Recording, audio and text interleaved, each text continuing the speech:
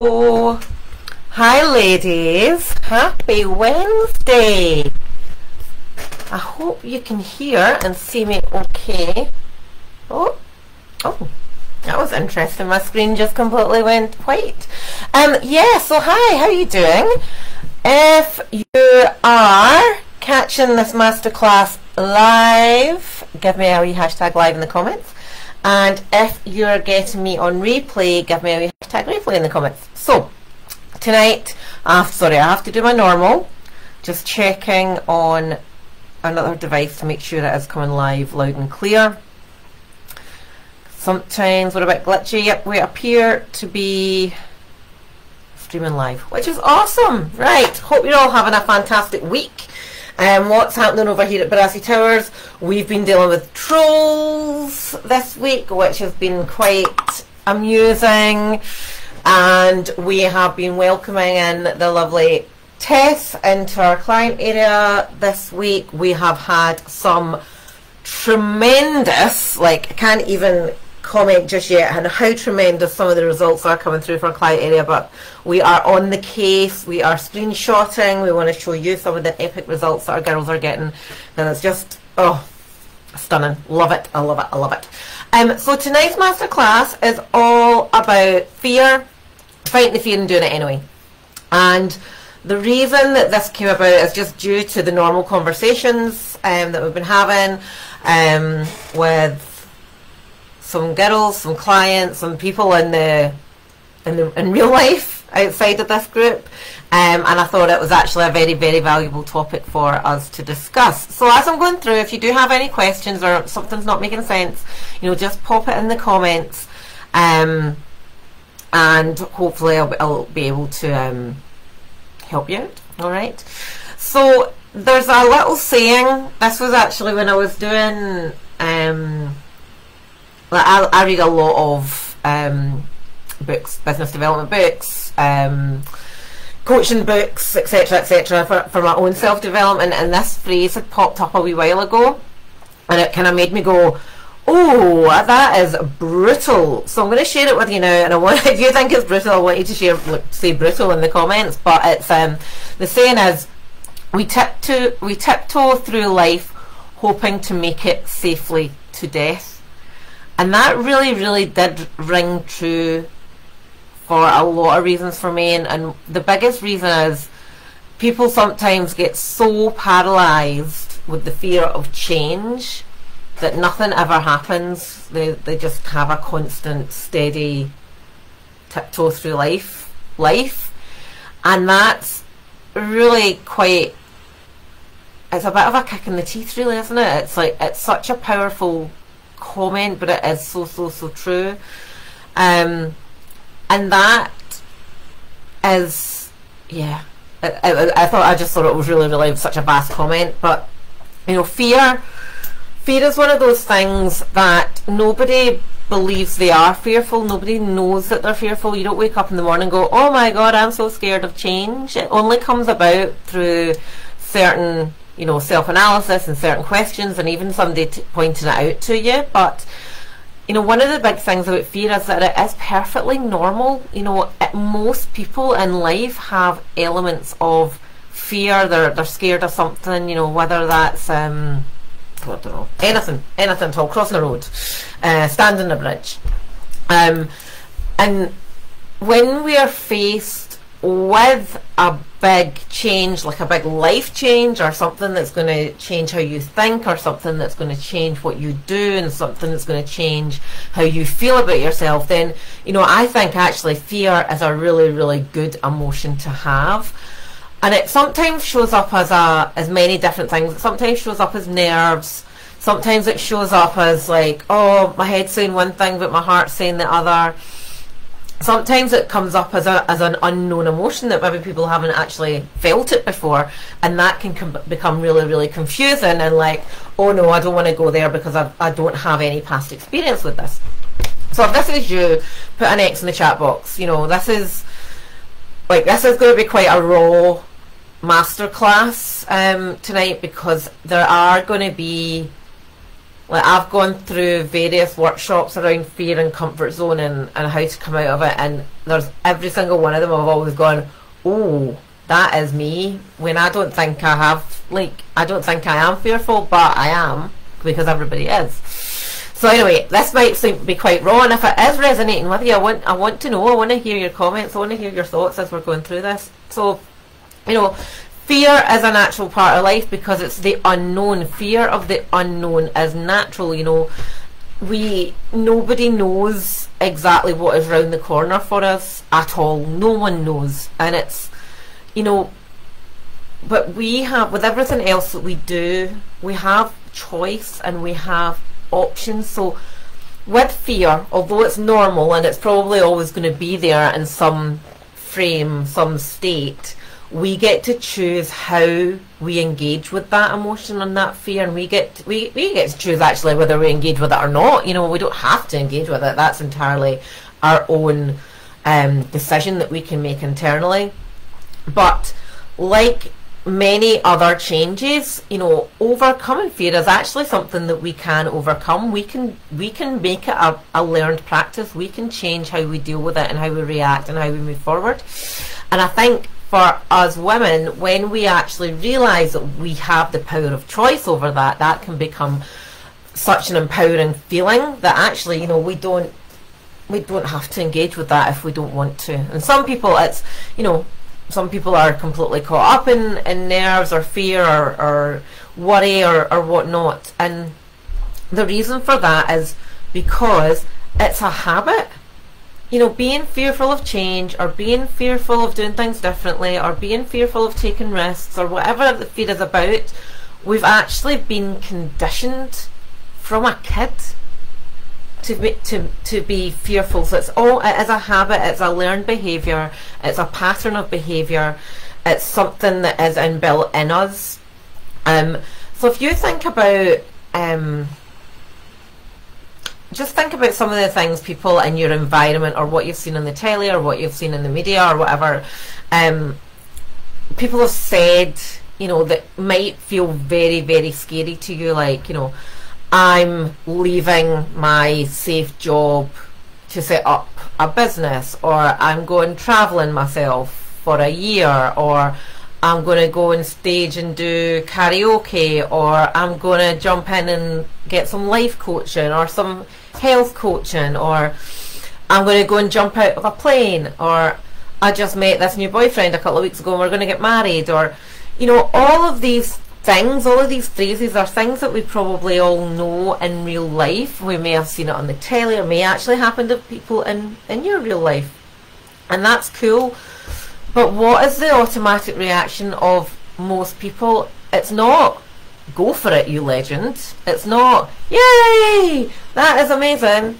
It's, oh, I'm quite worried about that. Be careful. Are you going to be all right? Is it really what you want to do? And it's, it's all that you know, second guessing people and, and their and their choices that they make, and that's because we now believe that taking risks is a bad thing. Bad thing, and it's not you know, taking risk can be good. Sometimes taking a risk does doesn't work. You know, so we've got to be very very open and honest here that sometimes taking a risk doesn't work out. But the thing that we have to understand about taking risk but not doing anything about it because we're scared is because it's actually it's based on nothing because it's based on the future and nobody knows what the future holds you know, we can try and take calculated risks. We can try and second guess what's going to happen, but and we don't. We the only things we know for certain that are going to happen is we're going to die, and more than likely we're going to have to pay horrific amounts of tax. They're the only things I think we all now know when in real life which is actually going to happen. And it's the same as anxiety. You know, anxiety is, is emotions and feeling that are based off the past, which cannot be changed, cannot change the past. But we still get anxious about things that have already happened, even though we've got no control over that because it's already done. And it's the same with fear. We cannot change, you know, whatever's going to happen. It's in the future, we do, we don't know. We don't know. It's all it's all second guessing.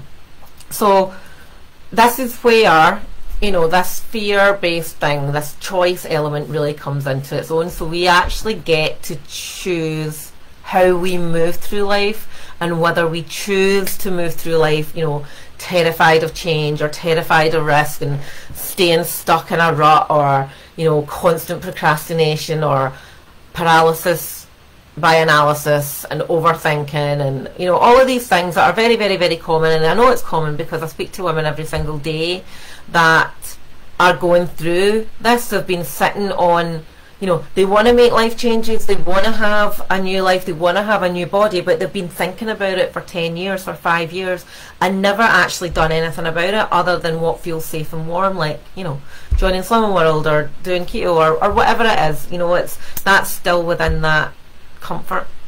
So we get to choose, and you know, there is a when you think about, you know, is the fear, is that bigger than the desire? Is the fear of of I don't know, spending money greater than the goal? Is the fear of having to make changes in your lifestyle is it greater than what you want to achieve? And if that is the case, then you know the desire really isn't your desire. You know you have to you have to come to terms with the fact that okay yeah I want it but I'm a am I willing to let myself be held back by fear then maybe I need to change the desire change the goal.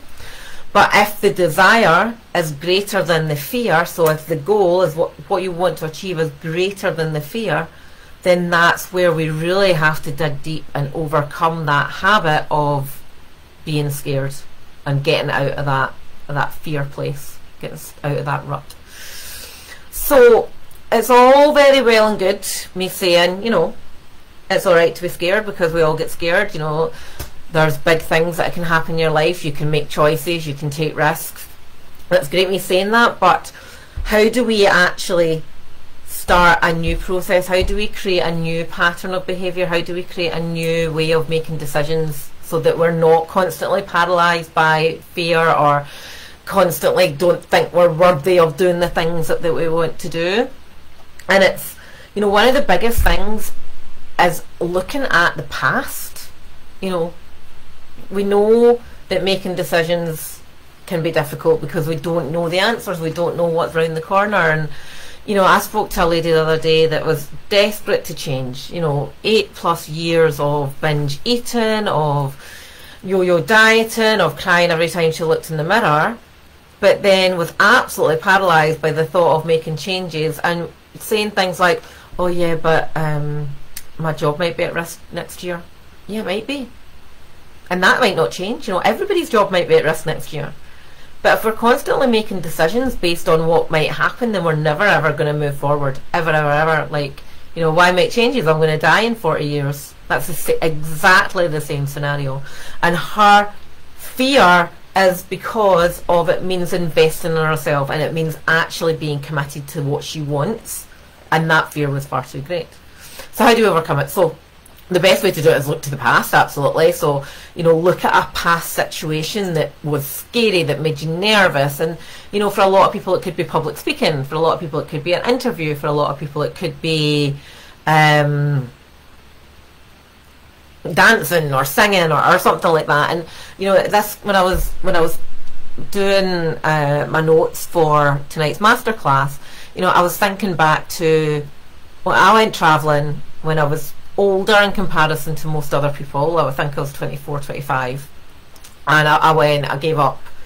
I left my job, saved up some money, left my job, booked a, an open ticket to Australia with a layover in Singapore. Went myself. My mum and dad are freaking out my boyfriend at the time, who I dumped to go, was freaking out. Obviously, because I dumped him. Um, but I, I got off the plane in the middle of the night in Singapore. I was just like, what the fuck am I doing here? I mean, really? It's late at night. You know, a country far, far, far away from home. Culturally, it's so, so different. Yes, it's probably safer than a lot of places. Didn't even know where I was staying and this is in the days before mobiles and you know it was just anyway when I at the time I was petrified I was absolutely petrified no idea where I'm staying no not a single clue who anyone is. But now when I think back I'm like oh my god I did that. Oh my god I did that. And I was petrified and I look back and I just go wow what an adventure. So now that I have got evidence of actually good things happen when you do things that scare you, it means the next time that you make a decision, you know, like you can make a you can get a positive outcome of that very very scary place.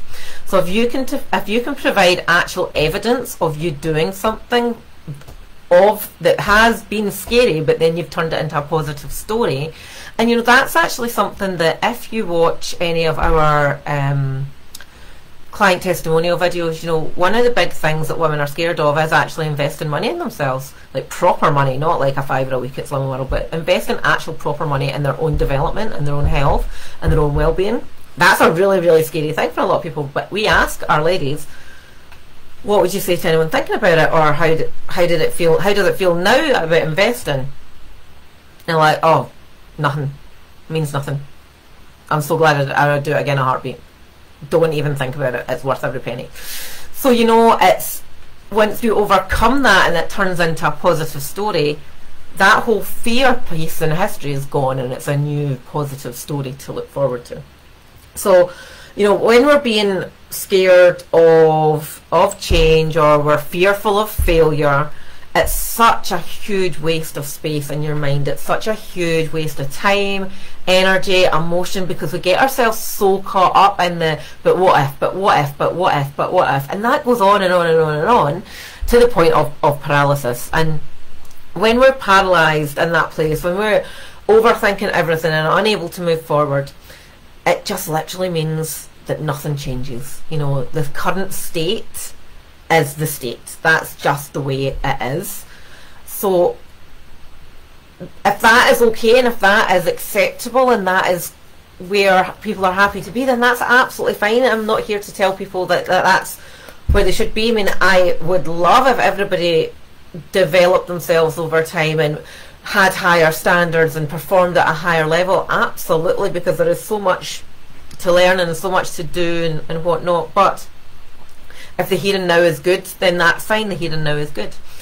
But if you take, you know, thinking thinking back to the, the calls that I've had with our, our our members, and you know, one of the big things that come through is, yeah, but what if I fail?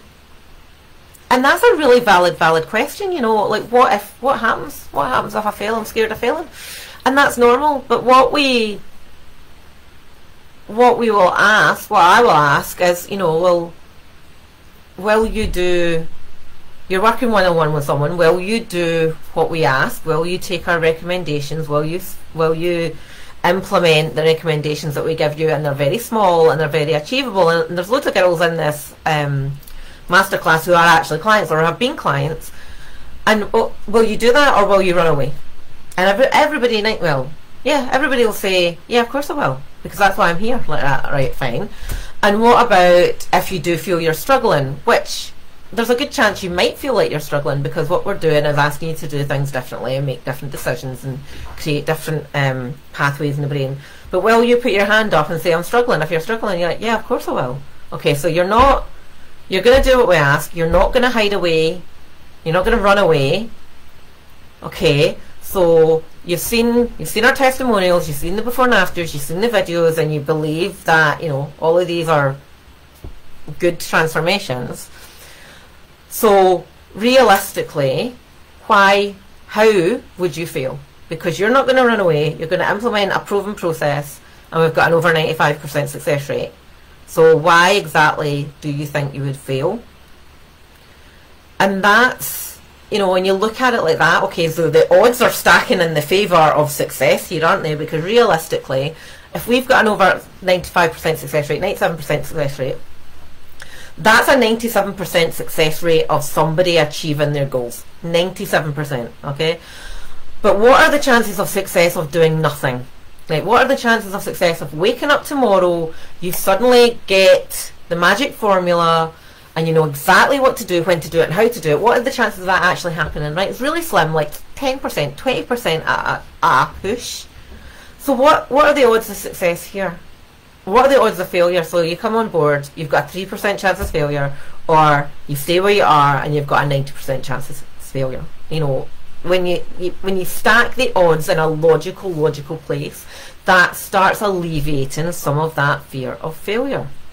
And see, so that's and of course, like I would say, ninety percent of the women that we work with have had experiences before where they've lost weight and regained it, or they've had a terrible coaching experience with someone else, or they have been on the, the, the keto Weight Watchers Slimming World roller coaster for the past 10, 15 years. So of course it's natural because to think, well, I've tried all these things and they've not worked, so why is this different? But this is different because, well, just going through it, you know, because you're working one to one, that's 97% success rate. And, you know, well, then it's like, well, what if I spend all this money on myself and, and then I fail? Like, well, why would that happen? We've just gone through that, you know, that your chances of success are 97%. And the thing is, you know, like money is money at the end of the day. It's a resource. It helps people do what they want to do. And, you know, most people have invested, well, a lot of people have invested thousands of pounds in SHIT programs in Slimming World and shakes and Cambridge and all the ridiculous notions and potions and lotions over the years. And one of the things that we do also have to remember is that, you know, there, there is there's failure everywhere look. Like you could walk down, you could fall into a pothole and break an ankle. You could fall down a pothole and bash your head and forget your name. And you know, loads of bad things happen all the time, regardless if you do something or whether you do nothing. So, I think to overcome it, the best way to overcome it is to actually to face it and do it. But like overcoming fears, like you know, first of all, look at the history. Look at areas where you have done something that's got you out your comfort zone and going, well, actually, that turned out all right. So here you go. We've got some actual evidence of that happening before. But being present, being present in the here and now, and this can be very, very hard when we're caught up in a lot of um, imaginary situations and scenarios. But what if? But what if? And but what if? And create, creating all these like spider charts and of noise in our head, bring it right back to the here and now. Okay, am I, do I need to do something differently? Yes or no? Yes? Well, okay, then I'm going to have to do something differently. No? Okay, well, I don't do anything differently, I don't change. And that's fine. But being present in the here and now, getting out of those imaginary, imaginary scenarios, and because guaranteed 100% of the time, what is in the imagination process is scarier than the facts, scarier than the here and now. So always remember that, that what you're imagining, those arms and legs, bigger and bigger and bigger, and that's one of the reasons why we get just so paralyzed. Okay. One of the other big takeaways, and this is actually speaking from personal experience as well, and I know from a lot of um, of my friends and and peers, this has been a big thing. Is being aware of the environment that you're in as well. So first of all, who are your people? What are they like? Have they got, are they talking negatively? Are they talking about being scared of doing things? Have they been stuck in a rut for years and years and years and not moving forward? Or constantly saying things like, when I eventually do whatever, but nothing ever changes. So have a think about the environmental factors, you know, are you find are you constantly glued to News 24 and finding sadness and badness in the world? And there is, you know, happiness doesn't sell. News is always going to be misery.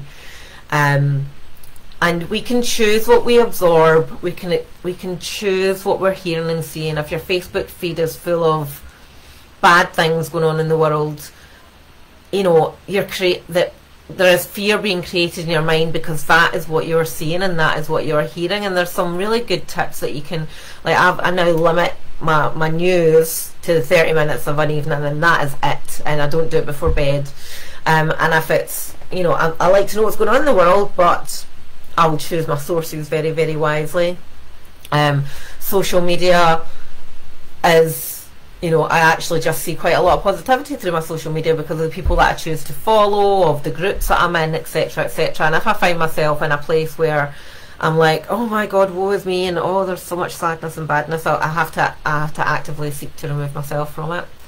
Um, and from your point of view, going back to that that power of choice, you've got the power to create a new environment round about you that helps you be less fearful, that lets you be more um, active in, in, in the mind, that's not the right phrase, but helps you be more forward seeking.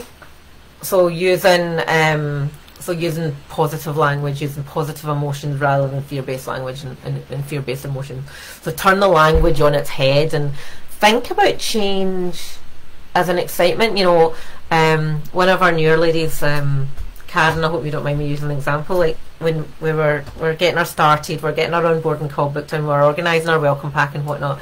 And she's like, I'm really nervous, but I think it's excitement. And I was just like, that is absolutely one of the best examples of reframing nerves and fear into a positive scenario. And you can choose to do that. You can just say, oh, I feel really scared. Oh no, but that's excitement, and you can choose what that is. It can be like, oh my god, I'm really, I'm really nervous. Oh, I'm actually really happy, and you get to reframe it. And I think that's really powerful about this feeling of choice. Um, so yeah, so just remember on the other side of that coin, that fear coin, fear or freedom, and it's as simple as that. And you can choose that. And I think when we start remembering that we have the control, we have the power, we've got the we've got the self love to be able to design the future and design how we see things, and yeah, that's hugely hugely empowering. So, yeah, I hope has this resonated with people. I've not actually been checking in with the comments. Let me check. So yes, live. Yes, Patsy, that is a brilliant analogy. Worrying's like a rocking chair. It gives you something to do, but it doesn't get you anywhere. Absolutely brilliant.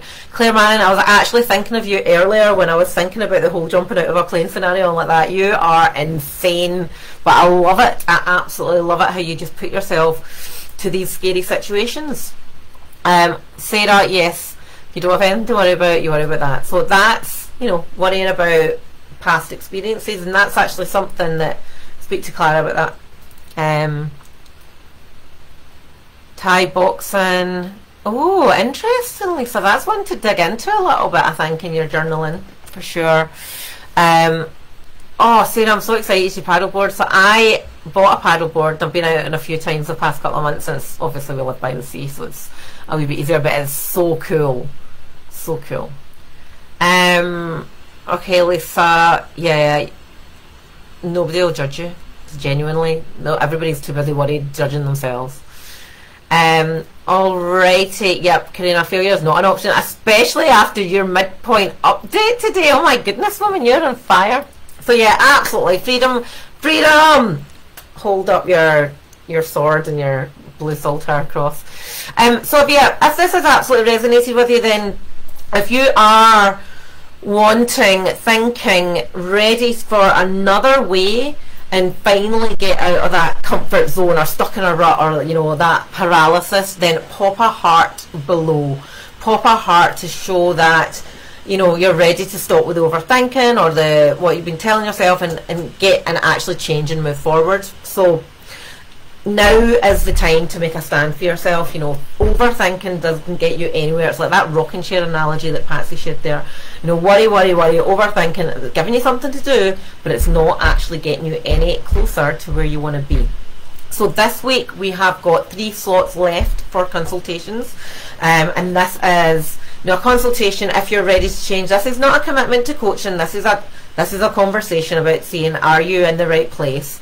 Um, so if you want one of those consultations with me, then pop a heart in the comments below and we'll get a space sorted out for you.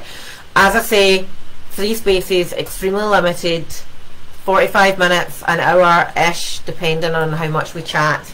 Um, and as I said, this is about finding you a way forward. This is about finding you a way out of that fearful place and into a new freedom place where you can actually finally achieve your goals. And hopefully some of the, the, the members that have been commenting will share. Oh yes, Sarah, you're ready. You don't need us. Well, you do need us because you're in the other group, but sorted, sorted, sorted. Love it. Fabulous ladies. Alrighty. I am away to finalise dinner. So hope everybody is having something lovely for tea tonight. We are having chili, I think. We t- I think we have chili quite a lot now Wednesday actually, because I get the the chicken and the mince delivered to my door. Alrighty, lovely to see some familiar names. I have loved talking about this stuff. I love talking about this stuff. I think it's incredible. Um, such how powerful that we can be if we allow ourselves to be powerful. Alrighty. Um, I will speak to some of you very, very soon. Have an amazing evening and take care. Peace out.